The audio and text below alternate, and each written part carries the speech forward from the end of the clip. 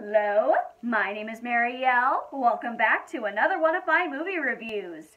If you saw my Titanic tribute video last year, you know that I'm a huge fanatic of anything Titanic related. Over the years, I've collected every Titanic book and movie that I could find, and in this piece of necklace is a real piece of coal that was saved from the wreck of the Titanic. If you go out to Branson, Missouri, I highly recommend that you visit the Titanic Museum. It's been 10 years since I've gone there, and I had a blast of fun. Today, in honor of the 110 years since the sinking of the Titanic, I'm going to review the 1953 film. Grab your life belts and let's start talking about this film. Titanic is a 1953 film based on the famous true story. Boarding the ship, Richard and Julia are forced to recognize their failing marriage. During the ill fated journey, secrets are revealed, affecting the relationship they have with their children. Titanic has made a legend across history. I have been a fanatic of the Titanic since I was a kid. One Christmas, I got the 1953 film adaptation as a gift and I watched it. Clearly, I was too young to appreciate this film. In contrast to other Titanic media, this adaptation seeks its own creative outlook. Clifton Webb and Barbara Stanwyck were excellent as an unhappy married couple. Webb and Stanwyck did a great job in their interactions. Their emotional deliveries were performed to the highest degree. I adored the father son relationship between Richard and Norman. Part of me wishes that Norman could have been played by an actual 10 year old instead of 14 year old Harper Carter. Then again, his behavior recognizes the unhealthy way that he looks up to his father. An ensemble of hundreds dedicated their time as passengers of the ship. I like Thelma Ritter's part in the film. She added a layer of comedy to this overall sad tale.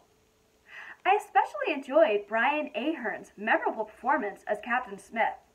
His evocative countenance of emotions was studied very well.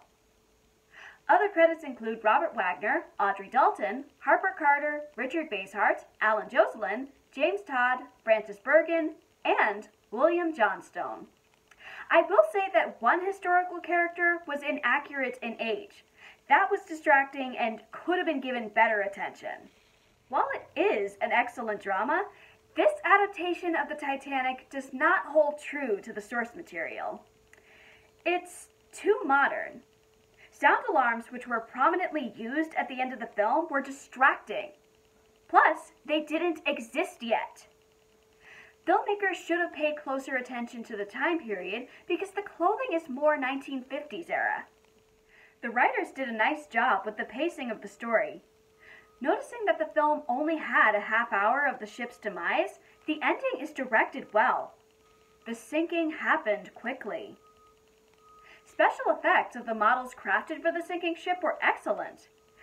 But I think it could have gone through a better edit because when we see the ship at an angle and then it switches to a set, the tilt is uneven, not matching the ship's angle. One aspect of the film that has earned its fair share of criticism is the ending. Instead of passengers running in a panic, they all calmly sing Nearer My God to Thee as the ship sinks. This isn't accurate to what happens, but that is okay. This is a lovely, melancholic sequence. This climax is a chance to do something different. I like how Jean Negulesco took creative liberties to film this sequence.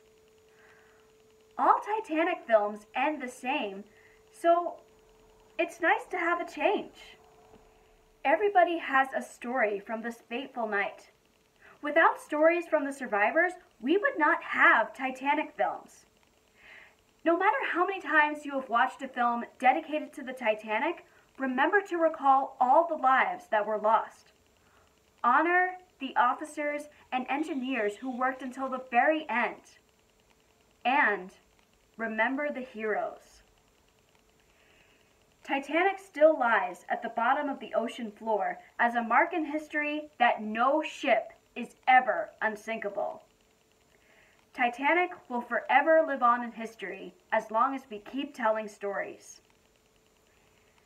Rest in peace, Titanic. Thank you for joining me in the commemoration of 110 years since the Titanic sank. What's your favorite Titanic fun fact? Have you been to any of the museums?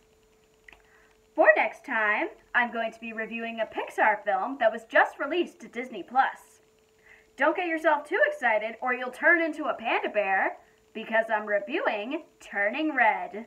Like, comment, subscribe to my channel or to my Patreon. My name is Marielle, and this has been another one of my movie reviews.